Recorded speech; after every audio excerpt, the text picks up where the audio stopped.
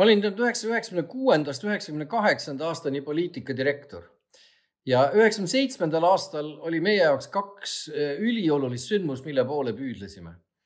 sel aastal esitati kutsed nii NATO kui Euroopa Liidu laienemise esimesele lainele. kuni üheksakümne kuuenda aasta sügiseni lükkasime neid suundi täie hooga ja paralleelselt, kuni septembris ütles USA toonane kaitseminister Bill Perry meie jaoks kuulsad, kuid kurvad sõnad. The Baltic states are not yet ready. see oli USA kõrgaeg, kus põhimõtteliselt tehti seda, mida Washington ütles, mis hiljem kasvõi Bukaresti tippkohtumist vaadates teps enam mitte nii ei olnud. aga siis ei pidanud muidugi olema raketiteadlane, et mõista, et NATO uks meile esimeses ringis ei avane küll aga oli veel võimalus saada kutse Euroopa Liidu läbirääkimistele, mistõttu ega me NATO suunalisest tööst ju päriselt ei loobunud, aga umbes septembrist oktoobrist oli meie peamine töösuund siiski Euroopa Liidust kutse saamiseks, mis ka hiilgavalt õnnestus. kui see oli saavutatud, oli aeg siht taas tõsisemalt NATO-le võtta. üheksakümmend kaheksa liikusin ma ise New Yorki saadikuks ÜRO juures, aga seal ei saanud ma olla rohkem kui poolteist aastat, kui välisminister Ilves mind Washingtoni suunas. ühe ainsa eesmärgiga kutse NATO kahe tuhande teise aasta tippkohtumiselt Prahas. see oli sel hetkel küll üsna, ütleme nii, mitte just kõige lihtsam ülesanne ja nagu inglise keeles öeldakse, uphill battle. selge oli, et äh, erinevalt laiemalt levinud nägemusest, et olulisimaks kriteeriumiks oli meie NATO äh, standarditele vastavus ja sõjaväe kvaliteet, siis tegelikult olulisimaks ameeriklastele oli neile endile esitatud küsimus Are they like us? Kas nad on meiesugused, mida siis tõestama asusimegi. tol hetkel, kahe tuhandenda aasta alguses nägin ma peamist kahte ohtu.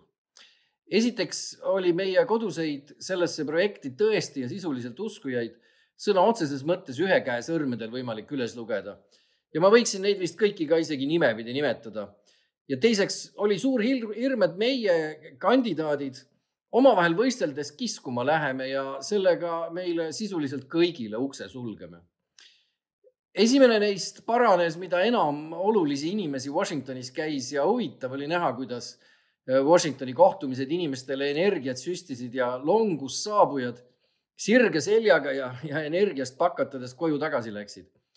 ja teise probleemi lahendamisele aitas hindamatult kaasa Washingtoni ainus parteideülene klubilaadne USA NATO komitee, kes meile justkui karja seest olid ja mida juhtisid meie suured toetajad Bruce Jackson ja Ron Asmus, kes meid tõesti musketärina koos töötama panid. muide, ka tollase senaatori Joe Bideni nõunik Tony Blinken oli selle klubi liige. kogu see aeg, kaks tuhat kuni kaks tuhat üks, oli üleni sisustatud kohtumistega, visiitide organiseerimisega, lobitööga nii Eesti üksi kui ka kandidaatide ehk niinimetatud Vilniuse kümne meeskonna tööna kas kaks minu arvates olulisemat teetähist meie NATO kutseteel olid mõlemad kahe tuhande esimese aasta esimeses pooles.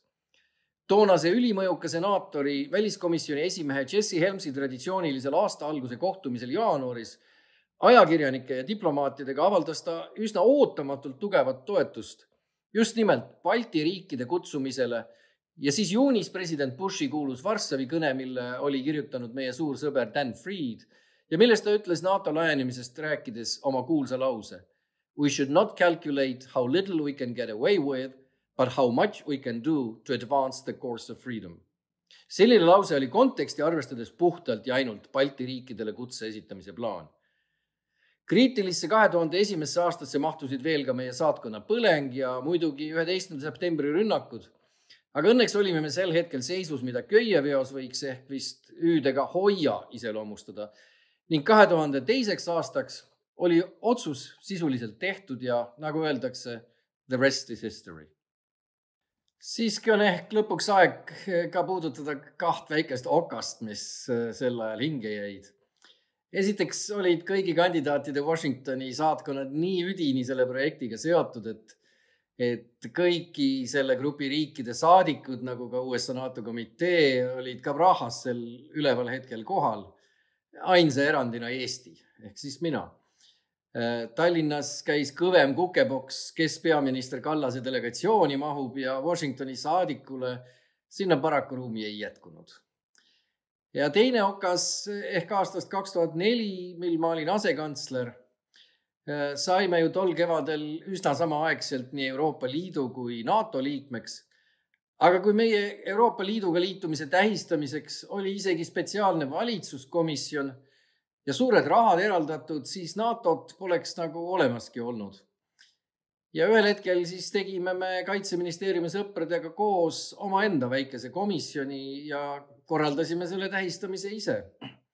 kuigi Euroopa Liidu tähistamisega võrreldes oli ralliterminoloogiat kasutades ühtedel tehase ja teistel eratiim, siis usun, et meie suur rahvaüritus Vabadusele väljakul ja muud tegevusedki tulid päris hästi välja